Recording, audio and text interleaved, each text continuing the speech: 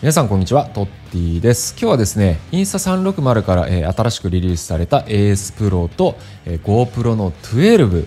この2機種をですね車検スクーバダイビングで使ってみて一体どういった違いがあるのかというですね、えー、比較レビューを徹底底的に、えー、行っていきたいと思います、えー、これからですねこういった小さなアクションカムを、えー、購入される方には、えまあ、どういう目線で選んだらいいのかという、えまあ、そういったね、え指標になればいいかなというふうに、え思っています。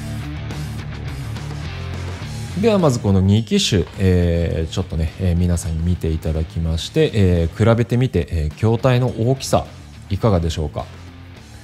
えー、こちらの AS Pro の方が若干大きく作られています。まあこれはですね大きいには大きい理由があって、えー、センサーサイズ、えー、センサーサイズの大きさが GoPro は1.9分の1インチセンサー。で AS Pro の方は1.3分の1インチセンサーという感じで、えー、こちらの方が AS Pro の方が大きく作られています。でセンサーサイズの大きさというのはカメラにおいて最も重要な部分で、まあ、簡単に言うとセンサーが大きければ大きいほど光をねたくさん取り込めるようになるので、まあ、その分綺麗な画質になりますよ。あと機能面においてもですねあの例えば手ブレ補正とか、まあ、電子制御でねいろいろ動かすんですけれどもその時にも光が多ければ多いほど、えー、その手ブレ補正っていうのにも、えー、優位性が出てきますよというところでついにね少し大きめのアクションカムが、えー、出てきたなと。さすが、えー、GoPro12 の後からねリリースしてきただけあって、えー、明確なね優位性を作ろうという意気込みをね、えー、感じることができます。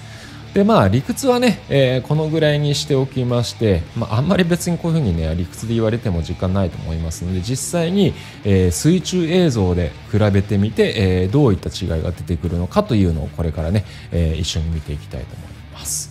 ではまず薄暗い環境での映像比較というのをね、えー、皆さんに見ていただきたいんですけれども、まあ、そもそもカメラはですね一般的に暗くなればなるほど、えー、画像がですね劣化してしまうんですね。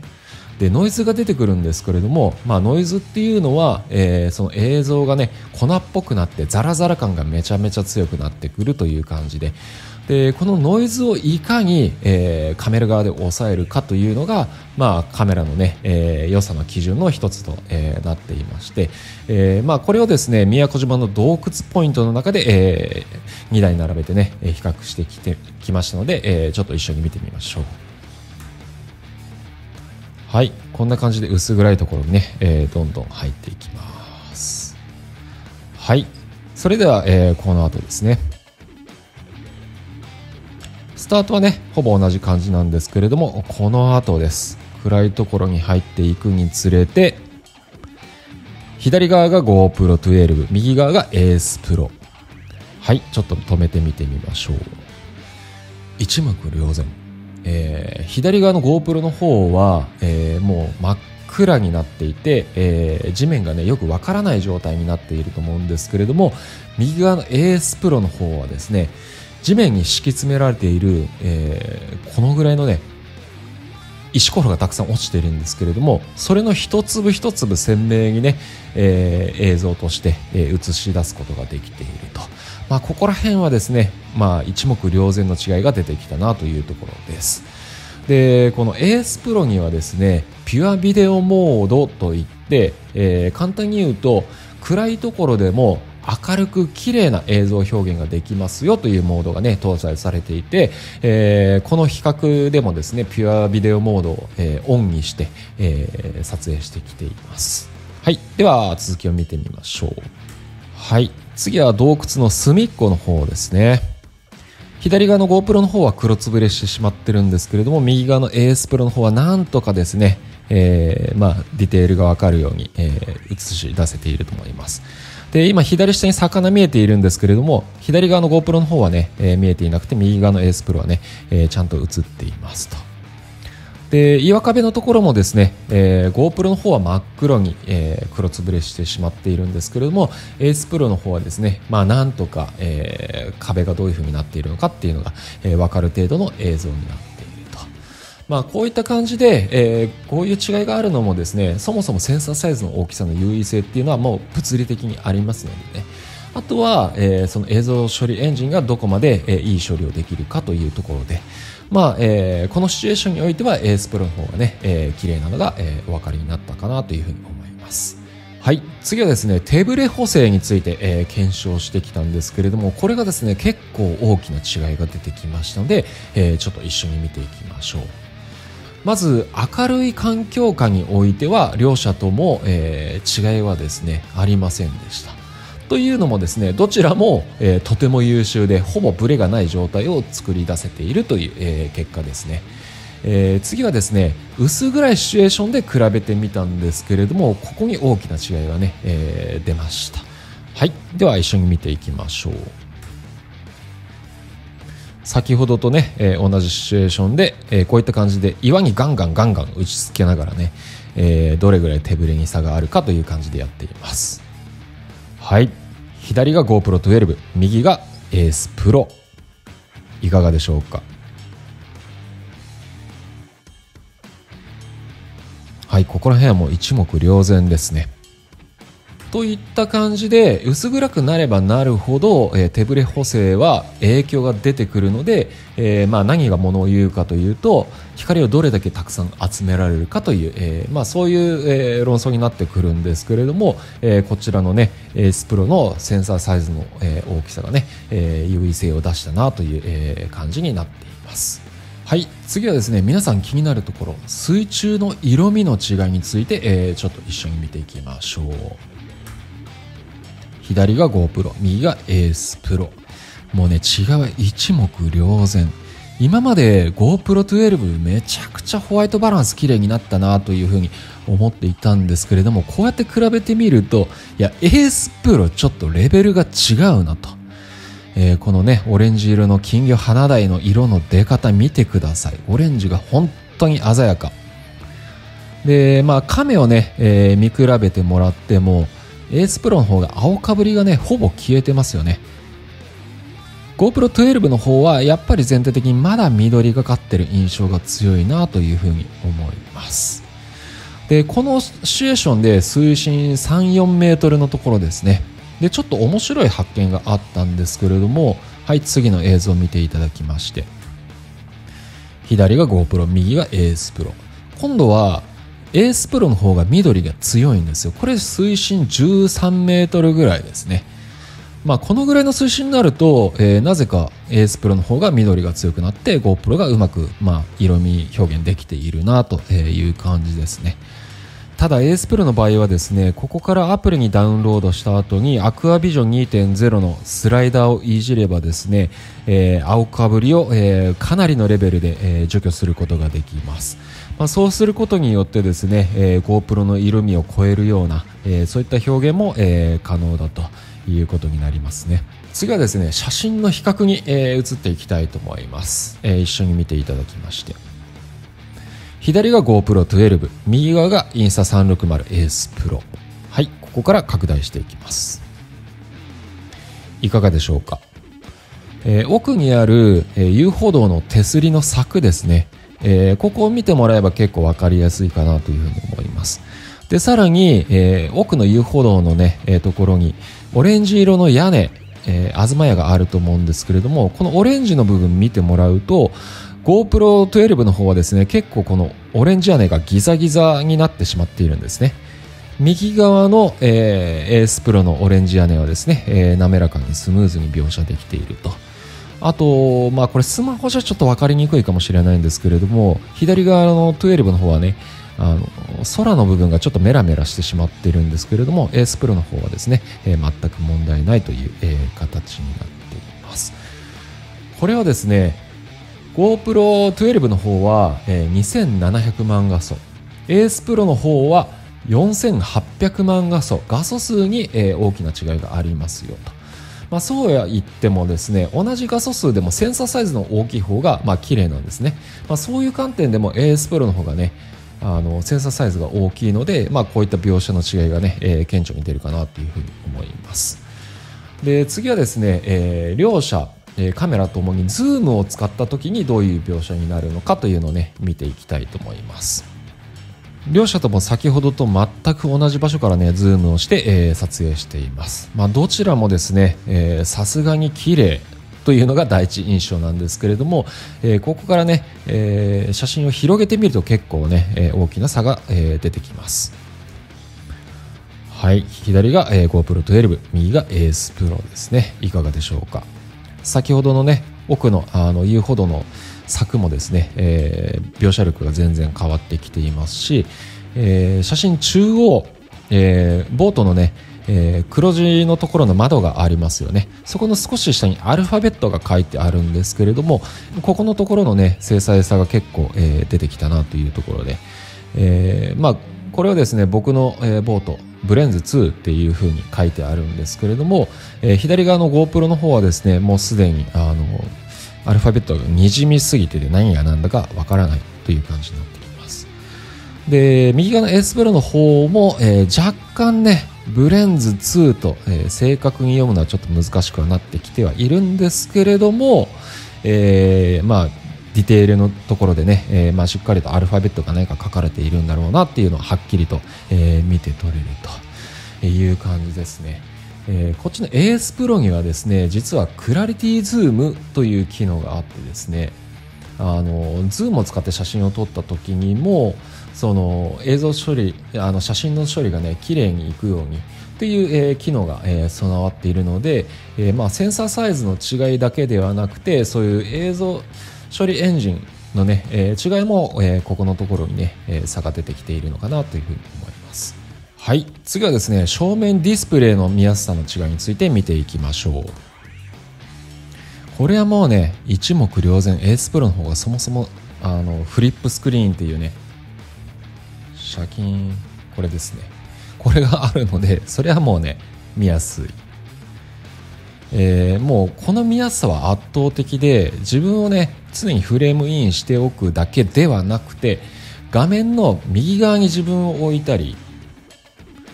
画面の中心に自分を置いたり画面の左側に自分を置いたりと、えーいろいろとね調整しながら撮ることもできるとだから例えば、えー亀が出てきた時ね亀と一緒に自撮りしたりとか、えーまあそういったことも、えー容易にね、えーすることができますと。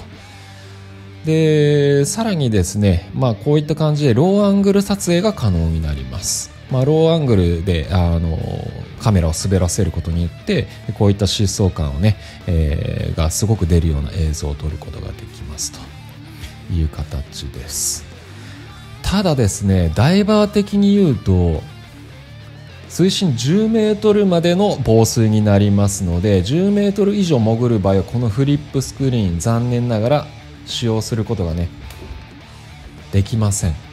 まあ、なので、えーまあ、ハウジングをね、えープラスチックのハウジングを、えーつけて潜ることになるんですけれどもそうすると、えーこの 正面ディスプレイはこの AS プロの方はですね、えーカメラの設定がただ出るのみ、えーの、えー小さなねスクリーンになってしまいまして、えー自分の姿を見ることはできませんと。対して GoPro の方はですね、えー小さいなりにも液晶がありますので自分の姿を、え確認して、え自撮りすることができるとなのでシュノーケルとか、えスキンダイバーあとは陸上で Vlog 撮ったりするときはエースプロの方がいいとも思うんですけれども、えーまあ、ダイバーに限った話で言うと、まあ、GoPro の方が、えーまあ、この正面スクリーンっていう点では、えー使いやすいと、えーまあ、そういった感じになりますね。ということで GoPro12 とインスタ 360AS プロの映像比較をね、えー徹底的に行ってきたんですけれども、えー、素評としてはですねやはりセンサーサイズの違いっていうのはもうね物理的に光を取り込める量が違うので、えー、AS プロの方がね全体的には綺麗な映像が撮れるなという印象が強いです、まあ、ただですねその映像を吐き出すためにはセンサーサイズプラス、えー映像処理エンジンの優秀さっていうのも、えー結構大事になってききていまして、まあ、両方ともですね優秀な映像処理エンジン積んでいるんですけれどもシチュエーションによっては、えここのシチュエーションは GoPro の方がいいよねっていうところもちらちらあったりしてですね、まあ、そこら辺は好みになるかなとは思うんですけれどもやはりセンサーサイズの大きさっていうのは、え映像の綺麗さに、え大事なんだなと、え実感したという感じですね。はい。ここからはですね AS Pro にしかない機能のね、えー、ご紹介をさせてもらいたいと思います。まずこの磁石式のね、えー、クイックリリースシステムですね。取り外しがめちゃくちゃ簡単で楽という形になります。でこれはですねこの装備で使ってるだけでももちろんですねあの取り外しが、えー、すごく便利なんですけれども、えー、例えばこういったねカーマウントえー、ペタッとねこういうふうに貼り付けるやつとか、まあ、いろんなマウントあるんですけれどもそういった複数のね、えー、マウントで使う時には、えー、いつでもどこでもカチカチカチ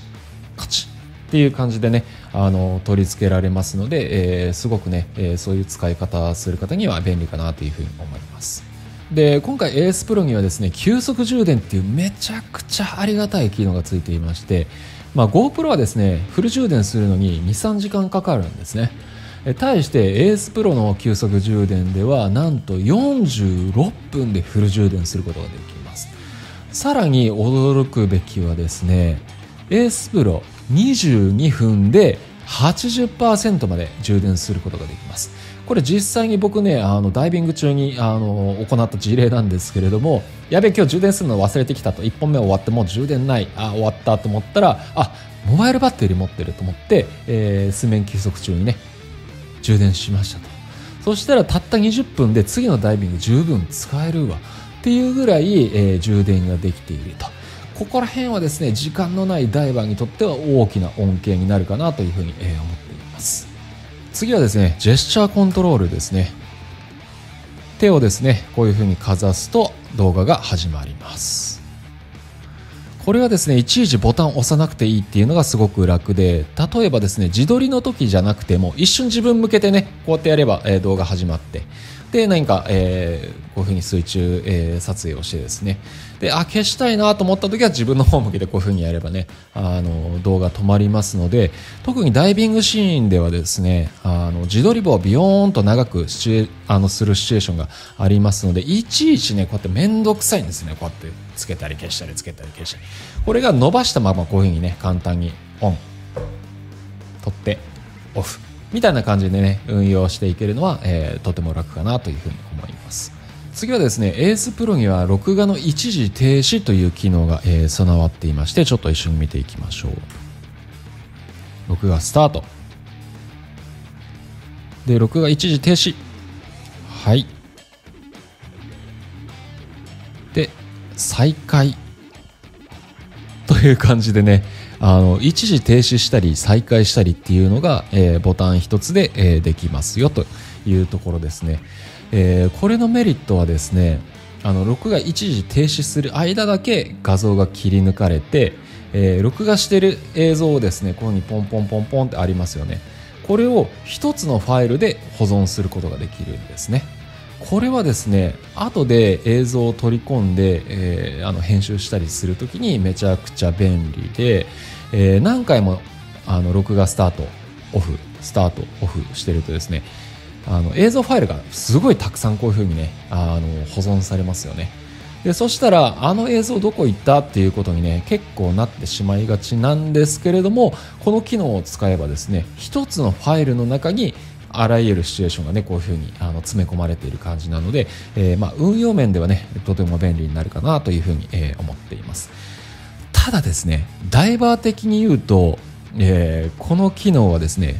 タッチスクリーンを、え押さないとあの機能させることができないのでハウジングをつけた状態だと、えこの機能はね使えないと。そこだけがねダイバー的にはやっぱりそのフリップスクリーンが使えないっていうのはねちょっとデメリットかなというふうに思います。あとはですね録画スタート。で映像を撮ってますよね。で撮ってる時にあやっぱりここの絵いらないな。っていうシチュエーション結構あると思うんですよ、えー、そういう時に、えー、このまま保存せずに、えー、今撮っていた映像をそのまま削除するっていう機能がね、えついていますのでちょっと一緒に見ていきましょう。録画ボタンを押します。はい録画スタート。でやっぱりいらないなと思ったら録画ボタンをね長押ししてあげるとはい録画をキャンセルをします。これで、えー、録画中止、えー、今まで取れていたファイルがゴミ箱に勝手にねファッで入る形になります。これ結構便利かなっていうふうに思います。ただですねこの一番最後に録画をキャンセルっていうボタンフリップスクリーン押しましたよね。あのタッチスクリーンですね、えー、ということはですよこれダイビング中ハウジングに入れた状態では残念ながらこの機能も使えないと。いう感じになるのはちょっと覚えておいてください。あとフリップスクリーンは水中ではタッチできませんのでスキンダイバーの方とかシュノケリングの方もですねこの機能はちょっと使いにくいかなというふうに思います。はい、あとはですね AS プロとスマホのインスタ360アプリの、え、連携が結構考えられて、え、作られているなと感じるんですけれども、え、なんとですねバックグラウンドで映像をスマホに、えダウンロードできると、